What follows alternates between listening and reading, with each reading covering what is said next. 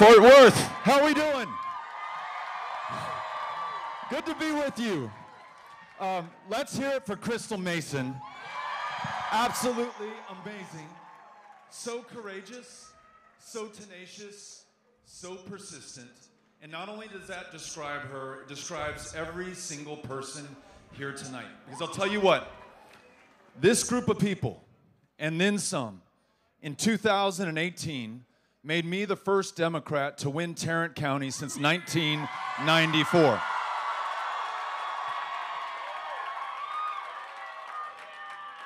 And this group of people, and then some, are going to make me the first Democrat to be governor of the state of Texas since 1994. This is on us. This is on all of us. Listen, I, I feel extraordinarily lucky to be here with you tonight. It looks like from the early returns, I will be your nominee for governor for the state of Texas. And because we knew that there'd be such a great group of people out, fired up, a little bit of alcohol in their systems, um, I, I have, I've only asked my entire family to join me once on this campaign, and it is tonight. This is my wife, Amy, my son, Henry, my daughter, Molly, my son, Ulysses, and our friend Wallace back there. they wanted to be with us tonight on election night here in Fort Worth, in Tarrant County. Tell me there's a more important place in Texas for us to be, a more important place for us to win than this one right here. And we have traveled the breadth and the length of this state, starting out in the westernmost county in the mountain time zone in the Chihuahua Desert, connected to Ciudad Juarez, our sister city, El Paso, Texas. And whether I'm in El Paso, whether I'm in Lewisville, whether I'm in Texarkana, which is as far away as you can be and still be in the same state. I find the most amazing, the most beautiful, the most creative, the most inspiring people on the planet. This is our home. And the beauty in this state and our values, we work hard and we do good work and we're good to one another. That's not reflected in those who hold power and positions of public trust in this state right now. The things that we want are not just good for Democrats. They're not just good for Republicans or independents either. They are good for all of us. We want to make sure that the best jobs in the United States of America are created right here in the state of Texas. Right? Argue that one. We want to make sure that we get behind our world class public school educators so that we have world class public schools in the state of Texas. We all want that. We want to make sure that we finally expand Medicaid so that people can see a doctor. No one dies of diabetes or curable cancer or the flu. And don't you think it's time that we legalize marijuana in the state of Texas? I do too. We can get that done. But in order to make that happen, we have got to get past the incompetence, the corruption, and the cruelty of Greg Abbott. Are you with me on this? I mean, this guy cannot even keep the lights on in the energy capital of the world. This guy has presided over a child protective services system and the foster children within it who are sleeping on desks in the hallways right now because we don't have the resources or the attention or the accountability that they deserve. This guy may say he's pro life. I think he's just pro birth. We are going to be pro kids no matter where they are or who they are in this state. This crazy, aggressive pursuit of transgender children in our communities and in our schools and in their families. When we have real challenges in the state of Texas right now, like seven out of 10 fourth graders cannot read at grade level. And it's not that our kids are any worse than the kids in other states. It's not that our teachers are not trying hard. In fact, they're working two or three jobs just to support their main job right now. It's because we have so underpaid those teachers and started to attack them from the highest positions of power. When I am governor, we are going to support public educators and public education and make sure that every child has the resources and support that they need to be able to get ahead. We're going to make sure when I'm governor that we keeps the light on in the state of Texas, the heat flowing, the water running, and that we make sure that we make sure that everyone understands that this state is big enough for all of us. That the leadership in Texas truly reflect the genius and diversity of the people in this state. That we don't have to be afraid of one another or pitted against each other or further polarize an already divided state. Ladies and gentlemen, whether you are a Republican, and I hope you're here tonight, or an independent, or we certainly have some Democrats in the House as well. I want to be a governor for each and every single one of you, and I want to bring us together to do the big things that we are truly capable of once we get past the smallness and the cruelty and the divisiveness of this moment. But if we're going to do this, if we're going to build upon our gains that we all realized together in 2018, then it's going to take all of us doing all that we can with what we have where we are right now.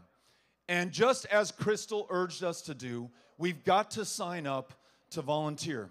And we've got to join an army of volunteers out there, a peaceful army that over the course of February has been trying to knock on every single door in every one of the 254 counties of Texas. Ladies and gentlemen, I'm here to tell you tonight that so far 53,500 people have signed up to pick up a clipboard, to become a volunteer, and to win this election. We set this ambitious goal because not just in Crystal Mason's case, but in the case of millions of our fellow Texans, this governor does not trust the voters of this state to make their own decisions about who should represent them or the course or the direction that Texas will take. And so last year, he signed the most voter suppressive, most voter intimidating legislation that we have seen since the Texas president LBJ signed the Voting Rights Act into law in 1965. It is harder to cast a ballot in this state than it is anywhere else. And look, democracy is under attack the world over right now. I don't have to tell you that. You watch the headlines, you see it happening half a world away. Well, it's happening right here as well. And when I talked to Catherine, our organizing director, and I said, Look, I wish the Department of Justice would ride to the rescue right now and enforce that Voting Rights Act, but they're not. I wish the Supreme Court would make sure that they strike down the unconstitutional voting laws that we have in this state, but they will not. There's no cavalry coming to ride to our rescue this one is on us. And Catherine said, Let me get those volunteers out there. Let me get them knocking on doors and making phone calls and lighting up the phones of our fellow Texans. And I'm going to try, Beto, as best as I can to get to 2 million voters by the end of February, which was yesterday. Well, she told me today we reached 4.5 million voters over the course of February. Un milagro. Absolutely amazing a miracle. And it's a miracle born of the people of Texas. This campaign is powered by the people of Texas. We will win this race together because of, by, and for the people of Texas. All I need to know from you is are you ready to sign up and to be part of this campaign? Because if you will do this, I promise you, we will win this. The people of Texas are sick of what we have and they want to change. They cannot believe, they cannot believe that the governor of this state will not trust women to make their own decisions for themselves, that he set a $10,000 bounty on the back of anyone who assists any woman in making her own health care decisions. Well, you don't have to be a Democrat to know that that is wrong. But it's going to take all of us working together to elect me so that you have a governor who trusts every woman to make her own decisions about her own body and her own future and her own health care each and every single time. We're going to do this. I really feel this. Si se puede.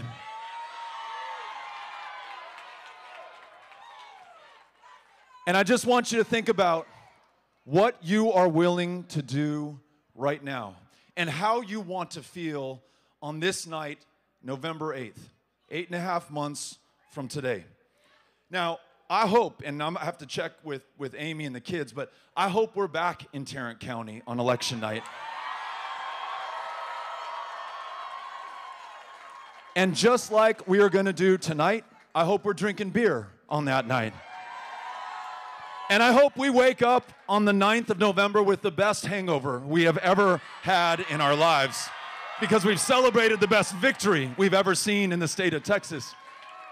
But think about how you want to feel that night, how you want to look back on this one and say, look, on March 1st of this year, I dedicated myself to my kids, to my family, to my state, to my country, to the generations yet to come. And when all was on the line, and we knew that we had the odds against us, and they were trying to rig the rules of the road while we were actually running this race in the election, I did not allow that to deter me. I did not succumb to the temptation of despair. I got up, I got after it. I knocked on my neighbor's door. I invited them into this democracy, voting in this election, and I made sure that their voice was heard, that their vote counted, that their vision was reflected in the campaign that we ran together. On that night, November 8th of 2022, you want to feel completely exhausted. Like you've done everything you could have done within your power to win this race. Nothing but nothing left on the field. That beer is gonna taste so much more refreshing. That victory is gonna be all the sweeter for it. And we are gonna celebrate like Texas has never celebrated before. Are you ready for this?